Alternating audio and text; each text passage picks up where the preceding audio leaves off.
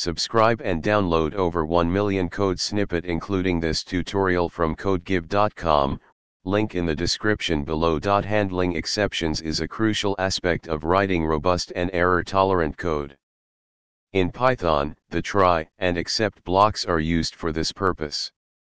Sometimes, you may encounter situations where different types of exceptions can occur, and you want to handle them in a specific manner.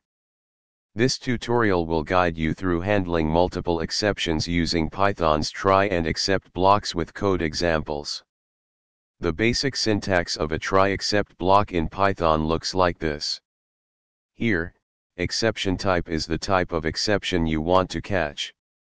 However, you can catch multiple exceptions in a single except block using parentheses to enclose multiple exception types. To handle multiple exceptions, use the following syntax.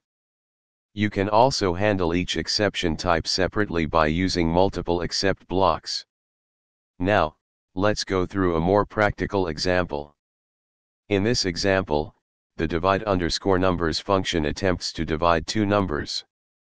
If a zero division or type error occurs, the corresponding exception is caught, and an appropriate error message is printed.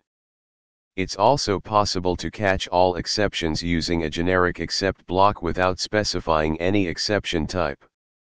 However, this approach is generally discouraged as it may make debugging more challenging.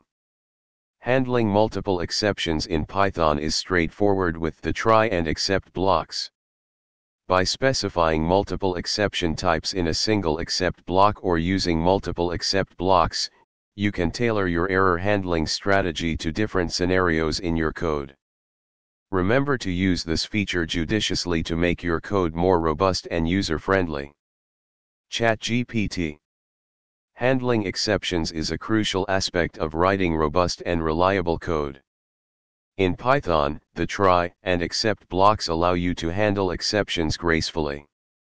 When dealing with different types of exceptions, you can use multiple except blocks to handle each one separately. This tutorial will guide you through the process of handling multiple exceptions in Python with clear examples.